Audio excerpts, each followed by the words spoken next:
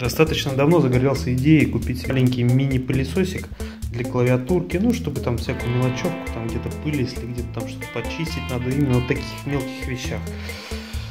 Ну, посмотрел на eBay, решил посмотреть то, что есть, и нашел вот это чудо. По сути, оно вот есть перед глазами. Обошлось оно порядка 100 рублей мне. Но суть какая, что сама идея достаточно понятная и логичная, что человек может что-то по мелочи рассыпать, и вместо того, чтобы собирать ладонью, там, возможно, конечно, что-то грязное там, или еще что-то, ну, должен быть такой мини-пылесос, там, может быть, там, муку там рассыпать на, э, если рассыпали на кухне, там, или еще что-то, ну, чисто такую мелочевку, там. то есть э, в те места, где тряпка там не дотянется. И существование мини-пылесоса, оно само по себе разумно, но на текущий момент хорошие, нормальные, адекватные деньги, да и, и по качеству я пока ничего найти не смог. Так вот, приобрел э, на eBay мини-пылесосик, пусть мини-мини совсем, ну, для того, чтобы, а, там, как она обозначается, для чистки клавиатуры и так далее. Вот, ну, у меня клавиатурка чистая, сама по себе я такой не сильнявый, но решил все-таки попробовать. А дай посмотреть, что за мини-пылесос. Так вот, сразу говорю, пылесосик дерьмо. Э, в каком отношении? То есть он э, шумит, очень шумный, у него есть замечательная функция подсветки, но толку от нее никакого. Он разбирается. Конструкцию сейчас мы посмотрим отдельно. Но свою работу не выполняет. Вот сейчас я подключил его через кабель USB. Ну, это удобно, понятное дело, сейчас все подряд через USB подключается. Подключил к внешнему аккумулятору, достаточно мощному, и э, пока подключил к 1 а, амперному гнезду.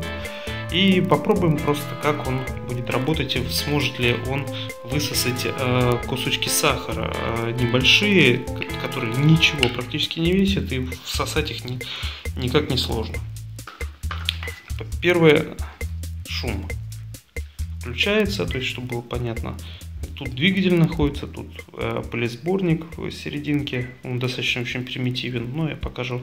Лампочка для подсветки вообще нафиг не нужна, но все-таки она существует. И, а, кстати, прелесть то, что можно менять насадки. Хотите, вот прям вычищать нужно. Но в связи с тем, что он не выполняет свою работу, соответственно, э, насадки вообще не понадобятся. Итак, включаем. Так, режим вкл. Сейчас, секунду. И аккумулятор.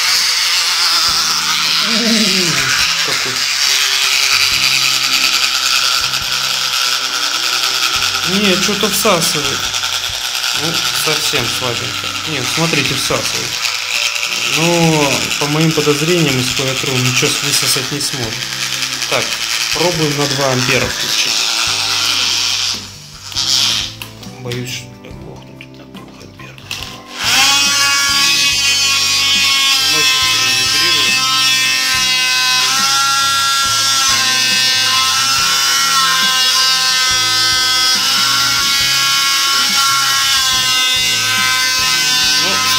оказывается, я не прав.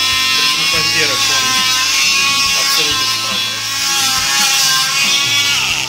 Но это шум. Это что-то. То есть фактически получается, что да, действительно он справился со своей работой, ну, на таком незначительном мусоре, как сахар.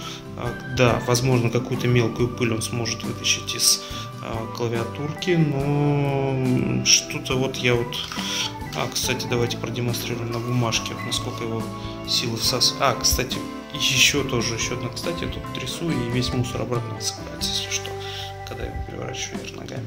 Итак, включаем и смотрим, как он себя поведет с э, салфеткой.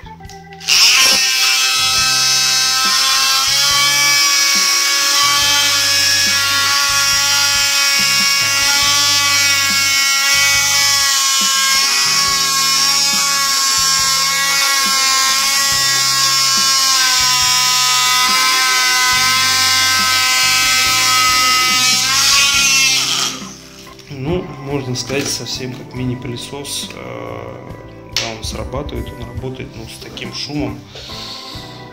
Ну, не знаю, я недоволен КПД. Считаю, что толку от этого пылесосика никакого не будет.